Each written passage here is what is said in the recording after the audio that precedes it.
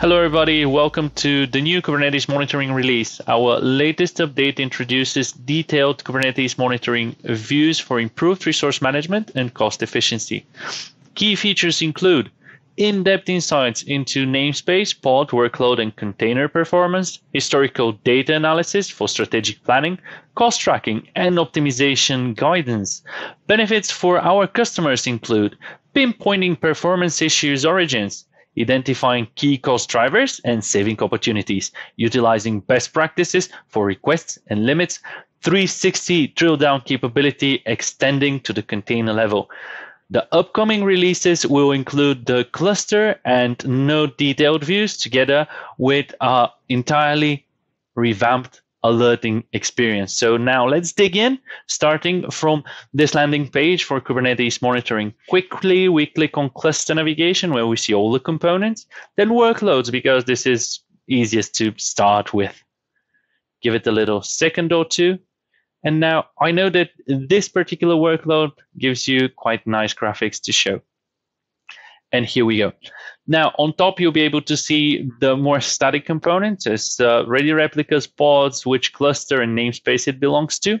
Below it, these are the time series for the CPU allocation in green, the orange dotted line for the CPU requests, and the blue line that uh, that represents the actual usage. On the right, you see one more line which is red and dotted, and this is the limits which are set for memory only in this particular workload.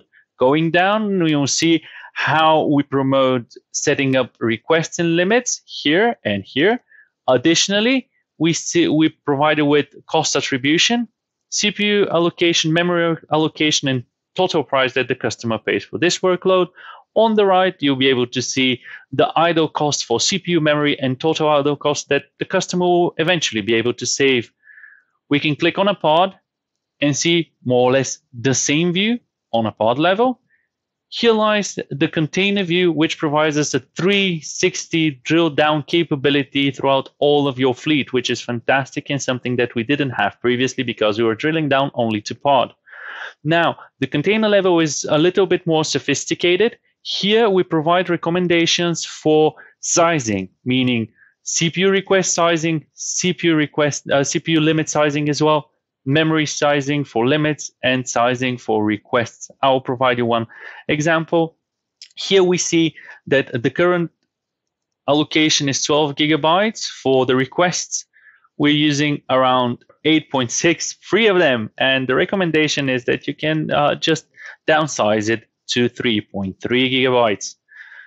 We again see the cost allocation and idle cost allocation Going further down, if there was CPU throttling, some uh, restarts or uh, terminations, you'll be able to see them here. For this particular uh, container, there were no such things, so no data is shown, no logs, and no events either. Now, for the last minute, I just want to show you one additional play where you'll be able to see a crash looping pod. So let's start. You go from here, you identify a pod that it is crash looping you check out the pod optimization view where it is constantly bursting for both CPU and memory, does crash looping. When you go to uh, dig further, you'll be able to see all of the containers and see that the CPU requests are far too low and that the termination reason is um killed exactly because of these really low set limits and requests. And finally, our recommendation is to resize the CPU request to a far greater number, and for memory, again, for, to a far greater number, and get this crash looping pod issue resolved. That was all. For more information, hashtag K8-monitoring. Please uh, leave us questions and feedback. Thank you.